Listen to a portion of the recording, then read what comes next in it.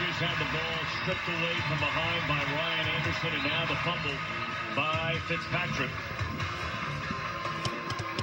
I mean, they've had a 13-play drive, a missed field goal, a 12-play drive, a missed field goal. That last one, a 12-play drive, 80 yards, and a fumble. And how many dropped passes, right? We saw Ryan Fitzpatrick could have kept, got a first down. If we'd have ran for the first down, next play, Cameron Brate drops the ball. Chance for a first down to keep the drive alive. And then we had Mike Evans miss the opportunity to catch a touchdown. And look, as great as Evans has been for the first four years, now fifth year of his NFL career, and he's one of only three guys in the history of the game, along with A.J. Green and Randy Moss, to put together 4,000-yard receiving seasons to start a career. The bottom line is he also leads the NFL in drops. Yep.